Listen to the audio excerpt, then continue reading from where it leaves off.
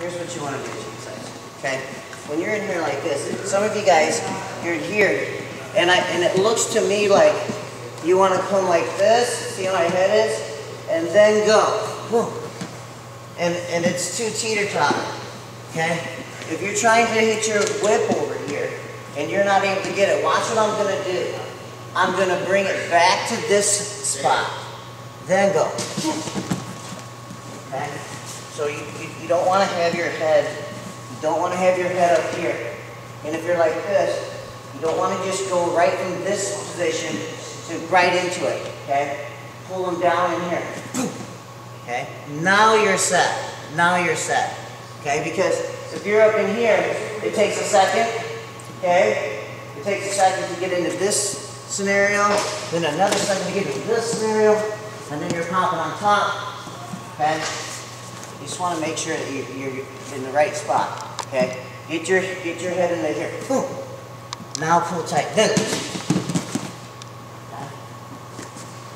just kind of avoid the teeter-totter scenario. Okay, it's not, it seems like it would work, but it's actually got a lot of slippage in it. Okay, makes sense. Now, let's go on, let's go on top. Okay, this, this twister motion is real similar to our cross wrist roll. Okay, so I'm here, I hit my cross wrist roll here, and then I roll. It's the same thing as like as a twister type, but more now I have his whole body, so it's like a body twister. See that? Now, I come through, I go ball and chain here, arm across the back, pull him into this scenario, okay? Now, when I go to pin them too, I can come right on top right there. Okay? Let's stick it with the twister thing, okay?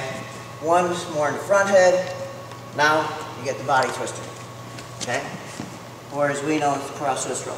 So I chop and catch his wrist, I pull it across, elbows in, capture his hip, then hit my roll, tight, transition to your ball and chain, short hook, elbow in the back, hmm, coming in here, climbing up.